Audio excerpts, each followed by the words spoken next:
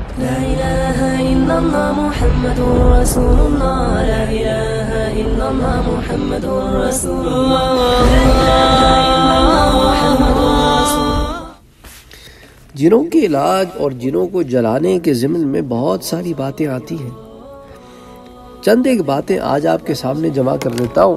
پھر اس ضمن میں کچھ اور دروس کریں گے تو پھر ہر درس میں تھوڑی تھوڑی معلومات جمع کریں گے۔ ورنہ یہ درس بہت طویل ہو جائے گا۔ بہرحال شاہ ولی اللہ صاحب محدث دہلوی رحمۃ اللہ علیہ آصف زدہ کا علاج القول الجمیل میں ان الفاظ میں لکھتے ہیں کہ جس کو شیطان نے خبتی کر دیا ہو ولیمن خبطہ الشیطان یقرأ فی اذنہ اليسرى سبع مرات، تو اس کے بائیں کان میں سات مرتبہ یہ آیت پڑھو۔ کون سی آیت؟ یہ آیت جو ہے نا، یہ سورہ صاد کی آیت ہے۔ آیت نمبر 34 وَلَقَدْ فَتَنَّا سُلَيْمَانَ وَأَلْقَيْنَا عَلَى كُرْسِيِّهِ جَسَدًا ثُمَّ أَنَابَ. وَلَقَدْ فَتَنَّا سُلَيْمَانَ اور بلا شبہ آزمائش میں ڈالا ہم نے سلیمان علیہ السلام کو بھی. وَأَلْقَيْنَا عَلَى كُرْسِيِّهِ جَسَدًا اور ڈال دیا ان کی کرسی پر ایک جسد، ایک بدن، ایک جسم. ثم انابا پھر اس نے رجوع کیا. تو یہ جو آیت شریفہ ہے، سورہ صاد ہے، اس کی آیا نمبر ہے 34 چونتیس۔ اس کو بائیں کان میں سات مرتبہ پڑھے پھر شاہ ولی اللہ محدث دہلوی القول الجمیل میں لکھتے ہیں یہ بات کرنے کے بعد، فَإِنَّ الشَّيْطَانَ يَحْرُقُ، اس عمل سے شیطان جل جائے گا۔ تو اس سے ثابت ہوتا ہے کہ شاہ ولی اللہ محدث دہلوی رحمۃ اللہ علیہ انسان پر شیطان کا اثر ہونا اور اس کے اثر سے انسان کا خپتی ہو جانا اور عمل سے شیطان کا جل جانا، یہ سب مانتے ہیں۔ اچھا اسی زمین میں حضرت عبی ابن کعب رضی اللہ تعالیٰ عنہ کی ایک روایت جو ہے، وہ امام حاکم لے کے آتے ہیں اور درجہ صحیح کی روایت ہے۔ وہ کہتے ہیں کہ ایک عرابی تھا، اس پہ اثر ہو گیا جنون کا۔ جس کو کہتے ہیں نا، جس کو ابھی میں نے آپ کو پچھلے درس میں بتایا، علم، ملموم جس کو کہتے ہیں۔ تو لم ہو گیا اس کو۔ تو حضور اکرم صلی اللہ علیہ وآلہ وسلم کے سامنے اس کو بٹھایا۔ تو حضور اکرم صلی اللہ علیہ وآلہ وسلم نے اس پر سورہ فاتحہ پڑھی اور پھر الف لام میم جو ہے نا سورة البقرہ وہ مفلحون تک پڑھی اور پھر اس کو پڑھ کے دم کر دیا۔ اچھا اس کے اس اس سے متعلق، اس واقعے سے متعلق ایک روایت ابن ماجہ اور اسی طرح اسی روایت کو امام احمد ابن حنبل مسند امام احمد ابن حنبل میں لاتے ہیں اور اس واقعے میں پھر یہ الفاظ آتے ہیں، فقام الرجل كأنه لم يشك قط۔ پس اس کے بعد وہ آدمی کھڑا ہو گیا۔ وہ آدمی گویا ایسے ہوا جیسے کہ کبھی مسروع ہی نہیں تھا، کبھی اس پہ سرع ہی نہیں ہوا تھا۔ میں پچھلے درس میں آپ کو مسروع کی ٹرمینالوجی بھی بتا چکا ہوں۔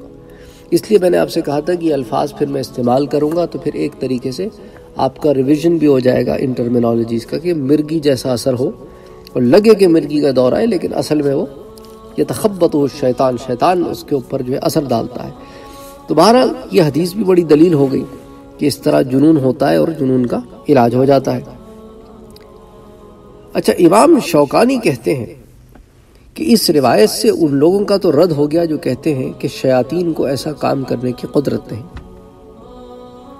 اچھا جہاں تک رقیہ وغیرہ کا تعلق ہے، وہ پڑھنا۔ تو ایک صحابی ہیں، علاقہ بن سہار ان کا گزر ایک قوم پر ہوا۔ وہاں ایک دیوانہ تھا، جسے زنجیروں میں باندھ رکھا تھا۔ تو انہوں نے اس دیوانے کو سورہ فاتحہ سے رقیہ کیا، دم کیا، تو وہ اچھا ہو گیا۔ تو اس کے جو ورثاء تھے انہوں نے ان کو سو بکریاں دے دی۔ بڑا تفصیل کے ساتھ واقعہ میں آپ کو پہلے بھی بتا چکا ہوں۔ حضور اکرم صلی اللہ علیہ وآلہ وسلم کی خدمت میں حاضر ہوئے سارا واقعہ سنایا تو حضور نے فرمایا، یہ درست ہے۔ بہت سے لوگ باطل طریقے کے ساتھ کھاتے ہیں اور تم نے رقیہ حق کے ساتھ کھایا ہے۔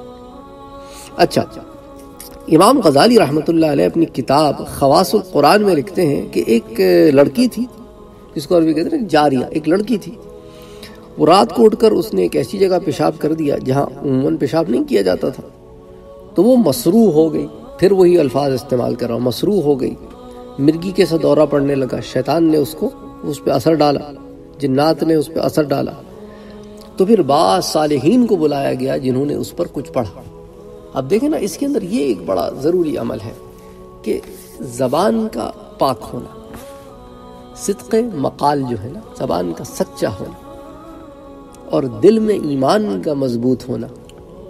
یہ دونوں بڑی امپورٹنٹ شرطیں ہیں۔ کوئی بھی دم دم، درود آپ لے لیں دعا کوئی بھی لے لیں اس میں صالحین کا جو ہے نا، ایک اللہ تعالیٰ نے ان کی زبان میں اثر رکھا ہے۔ وہی بات ہم پڑھتے اثر نہیں ہوتا۔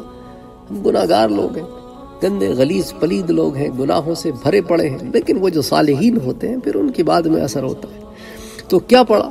اس کو امام غزالی لکھتے ہیں کہ اس نے ان صلحہ نے پڑھا کہ بسم اللہ الرحمن الرحیم پھر پڑھا الف لام میم صاد الف لام میم صاد پھر پڑھا طاہا پھر پڑھا تا سین، میم، پھر پڑھا کاف، ہا، یا، عین صاد پھر پڑھا یاسین پھر پڑھا والقرآن الحکیم حامیم عین، سین، قاف، پھر پڑھا قاف، پھر پڑھا نون، والقلم وما یستر تو پھر جب یہ پڑھا تو پھر وہ لڑکی بالکل ٹھیک ہو گئی۔